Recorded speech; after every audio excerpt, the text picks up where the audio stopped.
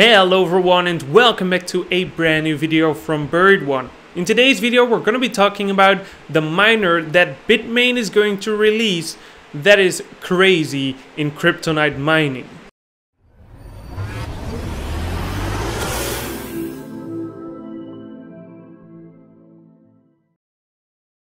Okay, so this miner is so powerful and efficient on the CryptoNight algorithm that it could even potentially destroy the entire network.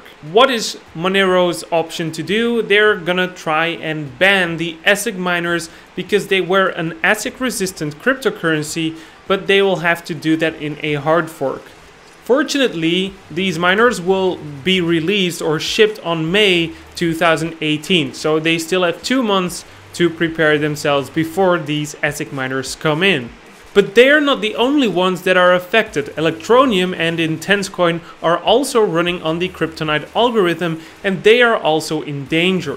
So this miner is capable of doing 220 kilohashes per second on the CryptoNight algorithm, but it would only use 550 watts. That is almost the best performance ever. Because this is capable of doing over $178 a day of profit on the current rates on CoinWarz while mining at these hash rates. It's even $5,300 a month while mining on those hash rates. So it's still more than a two months return of investment at the current rates of Monero mining, Okay, so to give you an example on how powerful these miners actually are, you can take over 100 AMD Vegas running about 220 kilohashes per second as well, maybe even 110 AMD Vegas to do that. But this will draw 25,000 watts instead of the 550 that the Antminer X3 will do. So if you take the entire Monero network's hash rate that is about 950 megahashes per second from all the GPUs that are mining it, and you divide it by the soar power of these miners, you can see that it only takes about 4,300 miners to double the entire network hash rate.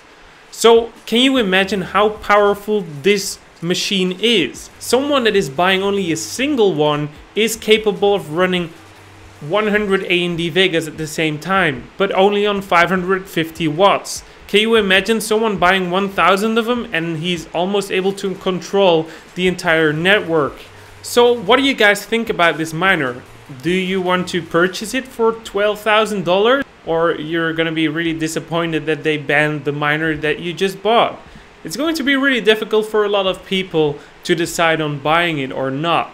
But I'm warning you guys, they're trying to fix this issue, so I think it's gonna be losing your money.